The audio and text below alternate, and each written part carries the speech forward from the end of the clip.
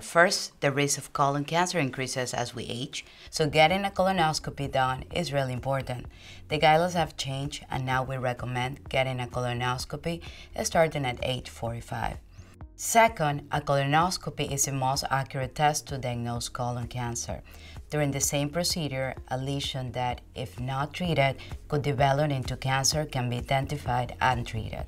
Third, a colonoscopy is the best way to diagnose colon cancer and, the most importantly, prevent it.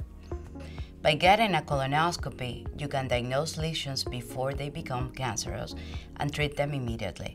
Talk to your doctor about the right time to get a colonoscopy and the other screening options that might be right for you.